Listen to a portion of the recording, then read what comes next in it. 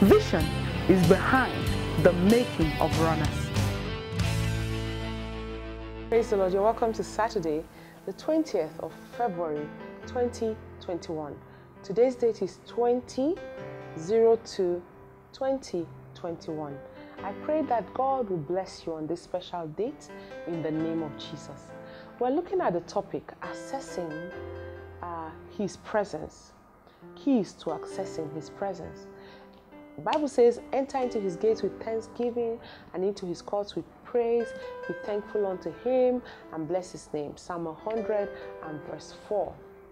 Thought for today when we praise God, we gain access to his presence. Our anchor scripture makes it clear that thanksgiving gives us access to God's presence. Praise is a secret of access to God's presence. This is why it is very important to give God praise at all times. Praise is key to accessing the presence of God. Now, when a person comes before God and begins to thank or talk to God without first of all praising Him, without thanking Him, it's like trying to talk to a man who is in the bedroom while you are standing outside of the gate of his house. That is an abnormality. Psalm 100 and verse 4 says, Enter into his gates with thanksgiving, and then into his courts with praise. Be thankful unto him and bless his name. This means we can't gain entry into his gates without thanksgiving. We cannot access the courts of his presence without praise. So, thanksgiving and praise gives us access. And when we gain access into God's presence, three things happen. What are they? Number one, the manifestation of the goodness of God in Psalm 100 and verse 5. The goodness of God abounds in the presence of God. So it is not possible to know how to praise God and not experience the goodness of God.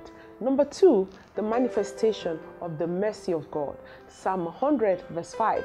The mercy of God is located in the presence of God, and the presence of God is accessed by praise. So, praise attracts the mercy of God.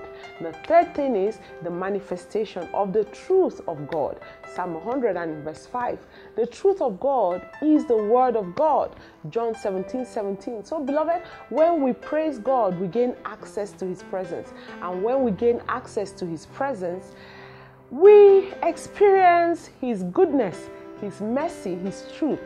This shall be your portion henceforth in the name of Jesus Christ. Remember this when we praise God, we gain access to His presence. Praise the Lord. What's our assignment today? Number one, make up your mind to praise God continually.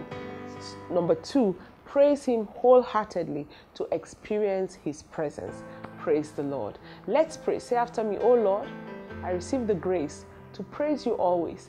Give me unhindered access to your presence and cause me to experience your goodness and your mercy and your truth, oh God, in Jesus' name.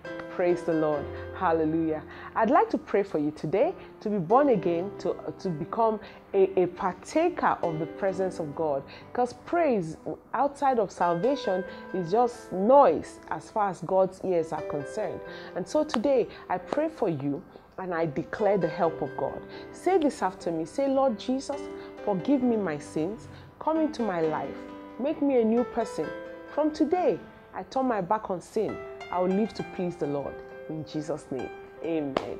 Praise the Lord. Hallelujah. The Lord bless you in the mighty name of Jesus. And today is your birthday. I wish you a very happy birthday. I wish you the help of God, the release of His goodness and His mercies in the name of Jesus. Happy birthday. Have a wonderful day. Peace.